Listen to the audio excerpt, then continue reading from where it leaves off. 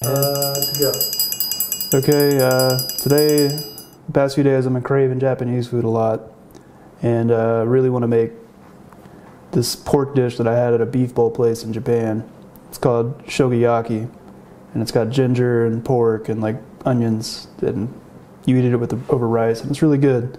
So that's kind of what it looks like. I'm gonna see if I can find stuff to make this, and if I can't find that, I'm gonna try to also make either make gyudon, which is the a beef version. It doesn't have ginger in it. It's beef cooked in dashi with onions, and you eat it over rice, and it's delicious. But it's simple and easy, and uh, I think it'll be good. So I'm gonna go to the store and see what I can find. Shake it some more. Gyudon, gyudon. So it's, so it's Gyeongdong? No, not what? What are, we, what, are, what are we making again? And why? making a gyudon, Japanese beef bowl. Cause I had it in Japan like almost every other day I was there. Because it's affordable and it's filling and it's pretty tasty. And it's easy to make apparently.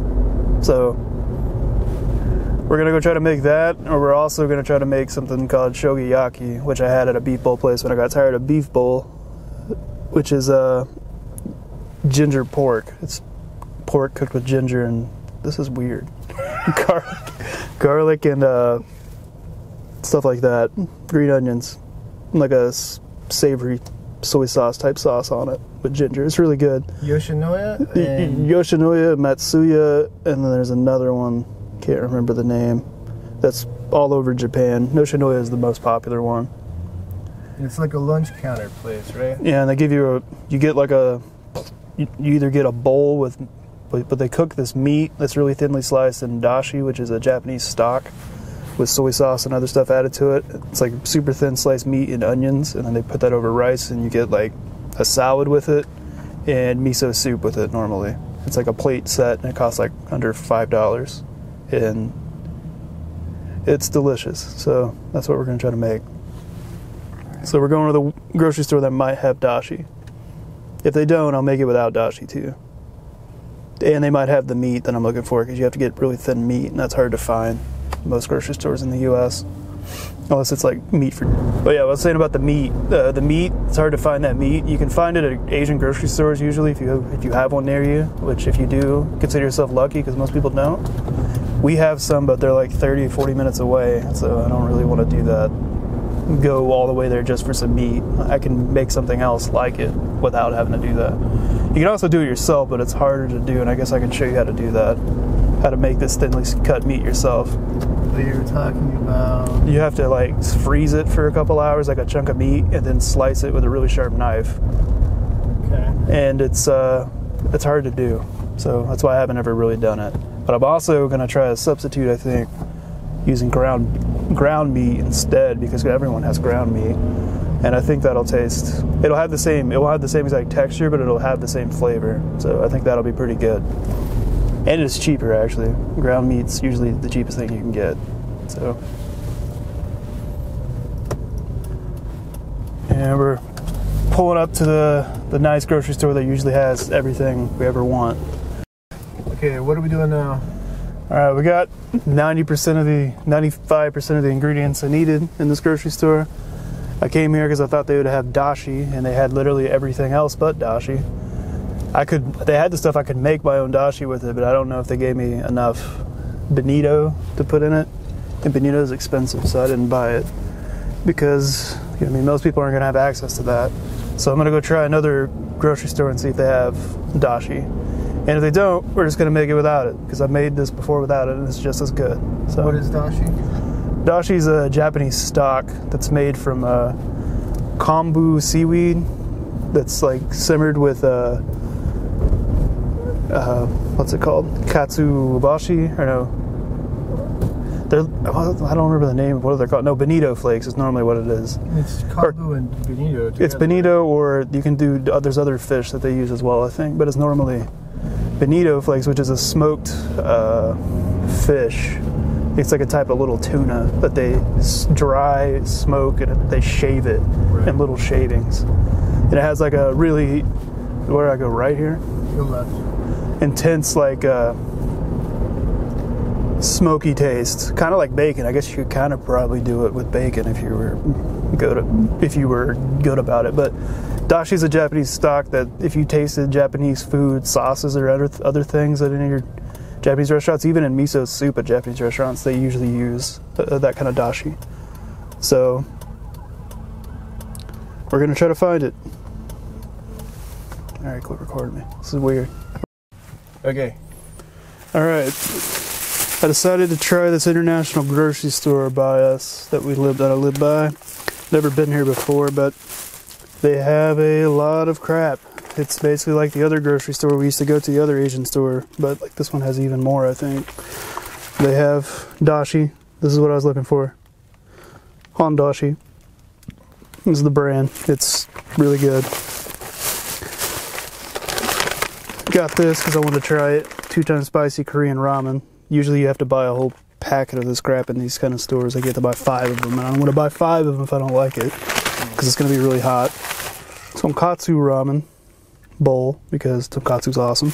I might make a video on how to make that sometime. Mm-hmm. And this place, they have their credit minimum, your debit minimum is ten dollars. So I had to buy Mountain Dew to get to ten dollars. So they definitely, so definitely, we need to come back to this store. They have all kinds of stuff, like tons of vegetables. I only went down two out of like of the like twelve aisles. I walked down two, two of them. Oh wow. There's a lot of stuff. So, all right, we're good. We're good now. This is uh, all the ingredients we're gonna need for this bowl today for this gyudon. Got the beef, of course, which on the East Coast I've seen this at some places, I guess, because we're close to Philly cheesesteak land. They have this thinly sliced beef. Will work pretty well in this. It's not the best beef, but it- it's really thin, and most beef bowl places don't even really use nice meat. They use really cheap stuff. So this works. And green onions, an onion gets simmered with that. Dashi powder. I bought way more dashi than I needed, along with soy sauce, sake, and mirin, and maybe a little bit of sugar, which is what that is. And then I have, of course, the rice. This is a short, medium grain rice. Normally it's called sushi rice in the U.S. This is a decent one. And usually there's pickled ginger put on the bowl at Yoshinoya in most of these beef bowl places. It's, you know, sour gingery taste. It kind of offsets this because this is kind of sweet. All this is pretty sweet. And it goes really well. All right, I'm making Japanese style rice. As you can see, it's like really small grains. Medium grain rice is what it is, so it's very starchy. So you need to wash it first a few times to get it to clear, and you need to use cold water, not hot water. This is pretty cold. This this is a rice cooker bowl. I just put it directly in here. Fill the bowl up with some water. You see, it looks normal now, but see, look at the water. You can kind of see through it still. Watch this. See how milky looking it got? You see that? Can't even see my fingers. Right. So you do that. You kind of take it. You can hear me rubbing. Here. I don't know if you can hear that, but I'm slightly rubbing it, not super hard because you rub it too hard, you break the grains. And what we're trying to do is get off the excess starch so the rice won't stick to itself when you cook it, and it it's better this way. It's a lot better this way. So This is specifically for medium grain like rices. sushi rices. Yeah. Okay. Well, just Japanese style rice, you always do this. See how see how much starchy starch that is coming off? We're gonna drain as much as we can to where I don't get any to come out. Fill it up with more water. You do this a couple times until the water is pretty clear. You don't see still kind of milky. There's still some excess starch on this rice. We're essentially kind of polishing it, I guess. I don't, and Now I do this with regular rice, but not. I don't massage it. This gets this gets the excess stuff off a little better. It makes the rice when you, if you see Japanese rice, like good Japanese rice, it kind of looks like it's shiny, kind of, mm-hmm. and somewhat translucent. That's because they did this, and it's this type of rice. If you don't do this, your rice will be kind of cloudy and like not as good. It still tastes good, but it'll stick together. See, this is pretty. It's getting not as cloudy now. You can see my fingers through it. It's, if you keep doing this, more starch will just keep coming off. But basically, when I get it to this point, I drain this and then I'm good. You can keep going, but it's not going to get that much clear, clearer. We'll do it one more time. Why not?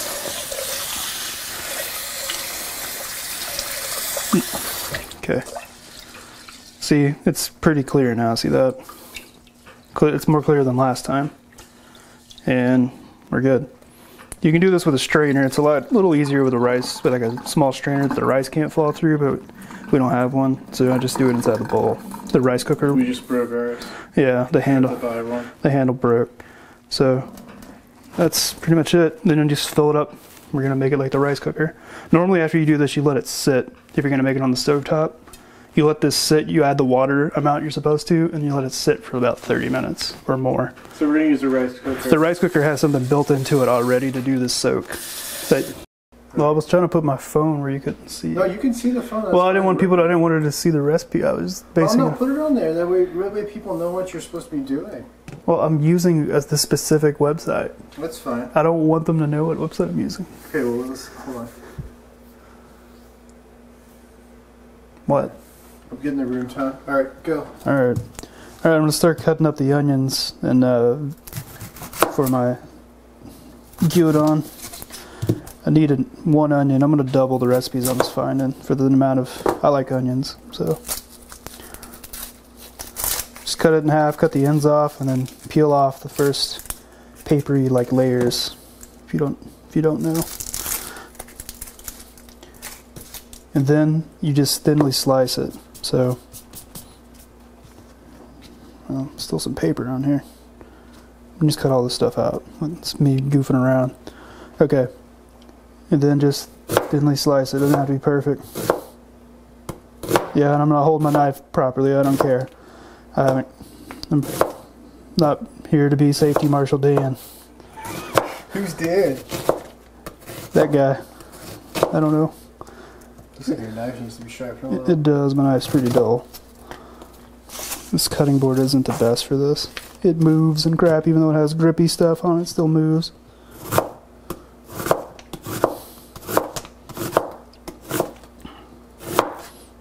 Like those ads loading on my phone. Those are great. In the middle of me looking at the website, just loads a new ad.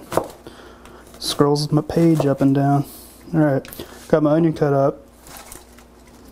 Green onions for the end, but I can do that later. That's for topping it, essentially. That's basically all you gotta cut up. This recipe's really easy. So I'm just gonna mix up the broth, like the seasoning that you put into the meat Okay. when you're cooking it. And I bought these giant packets of hondashi. Dashi, don't don't buy these unless you're gonna make a lot of food, because these are gigantic and you only need a little bit, and they're really strong. It smells like fish in here now. Look like granules. See, little granules. Hold on, hold on. Come back. I'm making a double Okay. So I need about a cup. So I was reading online. People, the box for this is like confusing, like the proportion of how much it makes, how much you need. It's not per cup. It's like per two and a half cups, which doesn't make any sense in American cooking. So we're gonna make. I can't tell what that is. We're gonna make. Teaspoon. That's one teaspoon. I'm gonna use like a little less than one teaspoon. I'm gonna use about half a teaspoon per cup of dashi because I need a cup of dashi. Use a little bit more. All Stuff- our measuring cups are worn off. Yeah, we've washed them too many times. The paint wore off. And now I need sake. Gotta pop the bubbly. It's not bubbly.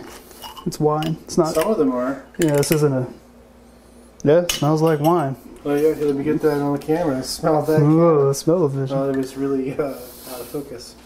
That's what we want. Hard focuses. Now I need two tablespoons of this.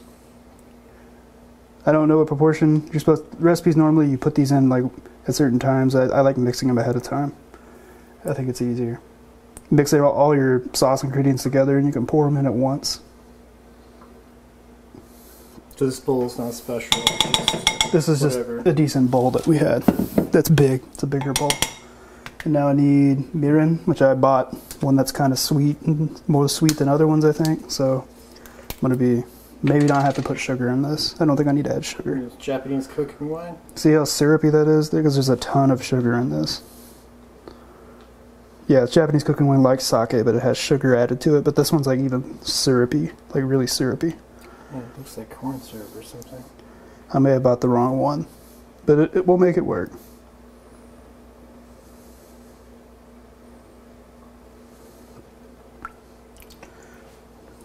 I'll add three.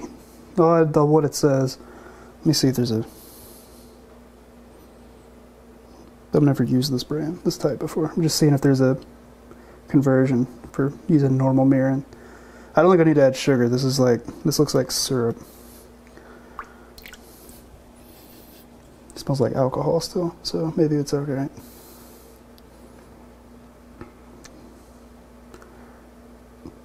This is like taking forever. Okay, I'm call that good. No phone, don't lock. Okay, I'm gonna add half the sugar. So I forgot the sugar. Right. Oh, is it? Oh, crap, I can't see. I'm blind. Alright. I'm gonna get a different measuring thing for that. Add one tablespoon. That's what it says. Make sure I got that right. Yep. Seems like a lot. Well, whatever, it'll be good. Okay, and then I need four tablespoons of soy sauce. It'll probably caramelize or something on the meat. This? Oh, the sugar. Oh, yeah, it will. That's part of the part of why it's in there, and it balances out better because this is really salty. I need two more, a little over two more, and I need to add the water for the dashi because I just put stock in here. Uh, the, this is like uh, great. It's like bouillon cubes essentially, but it's a powder. This one's a powder instead of a cube. It's the same thing, but I need to add a cup of water now. Oh, you want hot water? It doesn't matter. Okay. So I'm just gonna get some water out of the sink.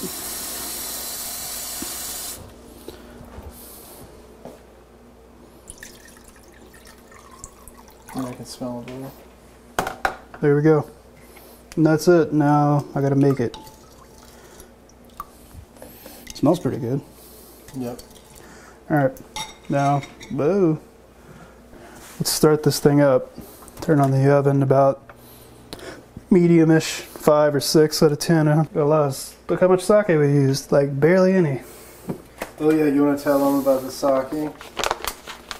How we probably could have got a cheaper one at the Asian store versus what we did. Yeah. We, that Asian store that we found after we bought all the stuff, we could have got everything cheaper. This I could have got real mirin, like better mirin that was cheaper. I could have got more soy sauce because we're about to run out. I definitely probably could have got sake for a lot less than I paid. This is supposed to be number one in Japan, is what it said. So I bought it. Whatever that means. Oh, you bought, you did buy it, didn't you? Yeah. they got me. All right. Stupid fat Americans. I'm gonna go ahead and pour my sauce in because it's getting pretty warm already. Those Americans will buy anything. Let's put number one on it. Ichiban. Isn't that number one? Yeah. And now we're just waiting on it to boil or something? Yeah, when it starts bubbling, I'm gonna throw my onions in, and then throw. I can smell it now. I might have put too much dashi. I'm supposed to refri. Oh, if you buy these big packets of dashi, like I did, I just folded it over. They say to refrigerate it after you open it, so it'll stay fresh longer. This thing came with two of these packets, and I barely used any of it, so keep it in the fridge. I'm gonna taste it right now, actually. Oh, ooh, ooh, that's good. Definitely tastes like dashi. So if you don't know what dashi tastes like, or if you're afraid it's kind of fishy, it's kind of fishy, but it's more smoky fishy to me, so it's not really strong.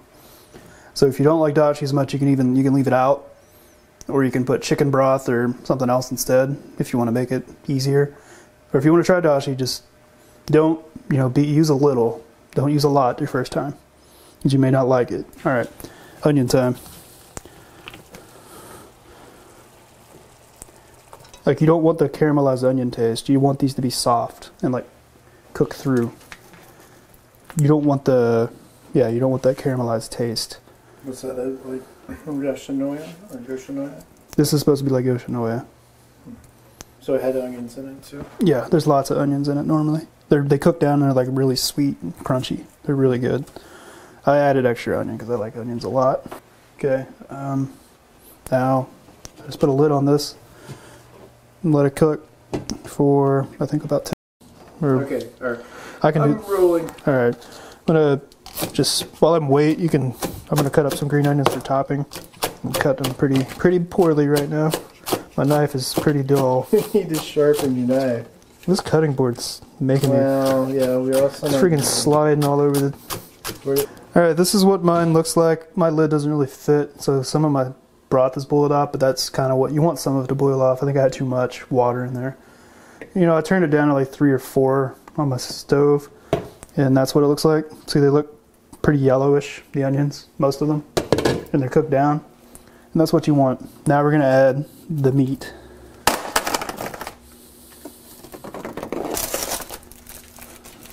And make sure.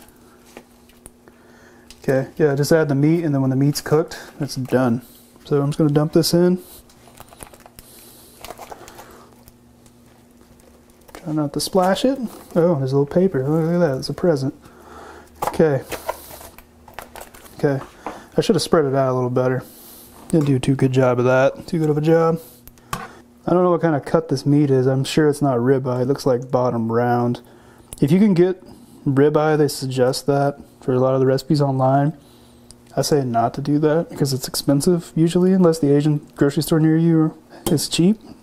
Get that. If it's not, try to find this or something else that's thin sliced beef because unless you like eating like uh, the Monopoly man every day, ribeye's expensive. And see, now we're getting it back to a simmer. All right, ready. Uh, this is uh, what it'll look like when it's done. See how it's basically there's some slight pink on the edges of maybe a few tiny pieces, but overall it's done. It's bubbling everywhere. Basically, we just cook it till it turns, you know, no longer pink, and then it's we're ready to eat. So we're gonna move over there, and uh, we're gonna move over and assemble it right now. Go ahead and assemble the bowl. There's the rice. See, it's kind of translucent, shiny.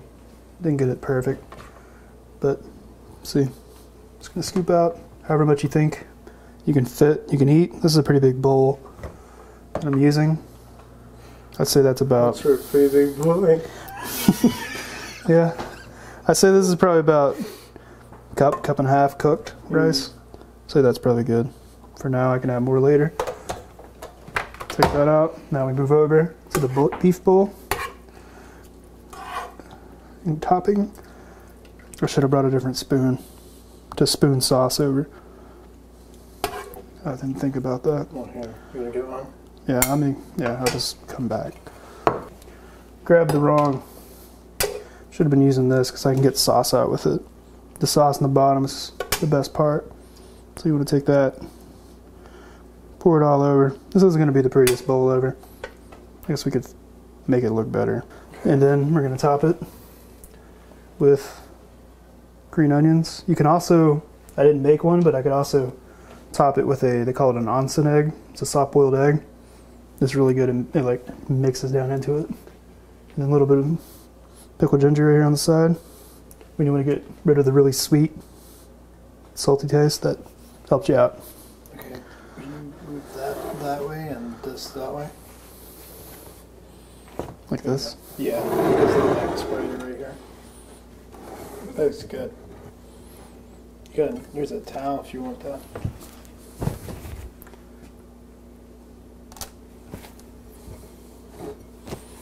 Yeah, maybe a little bit more sauce on the top. Maybe a little more onions. I really like the onions.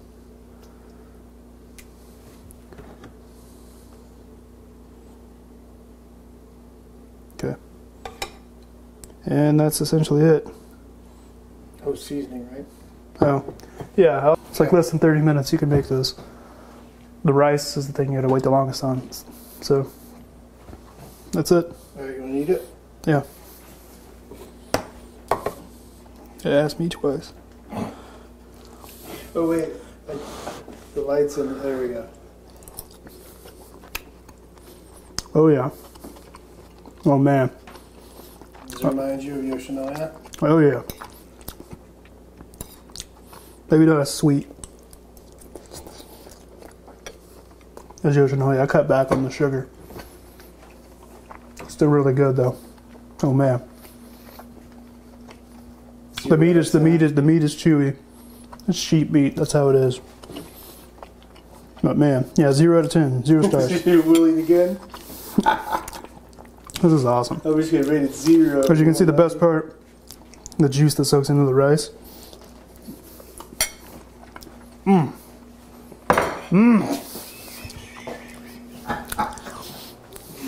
Oh, And then when you Sam. and, and then when you get a little, get rid of that. Uh, that it gets a little sweet or too meaty. A little pickled ginger, clean out your palate, bam. and you go back for another. Okay. All right. You making a picture of it, or you gonna make another bowl?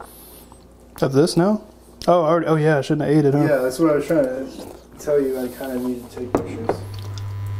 I can make another one.